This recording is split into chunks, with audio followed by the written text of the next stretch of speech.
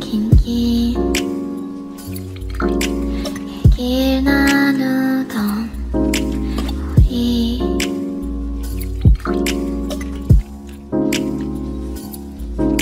그 밤 둘이라는 건